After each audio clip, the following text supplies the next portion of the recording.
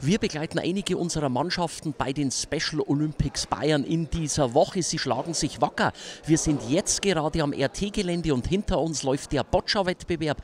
Da sind zwei Mannschaften vom Pater Rupert Meyer Zentrum mit dabei und sensationell, beide Teams stehen im Finale und geben im Finale alles. Wir drücken jetzt natürlich die Daumen. Vollste Konzentration war gefordert für die Künstler des Pater Rupert Meyer Zentrums. Wir schauen uns ein paar Szenen an.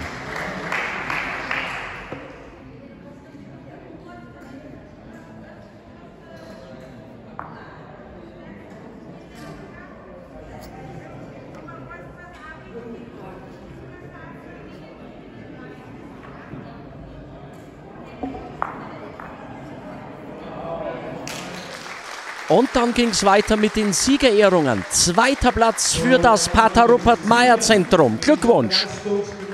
Und dann eine weitere Top-Platzierung für das Pater Rupert Meyer Zentrum.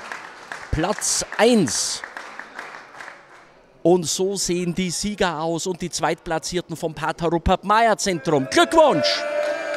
Mit ihren beiden Paten Wolfgang Scholz und Dani Wild. Dankeschön.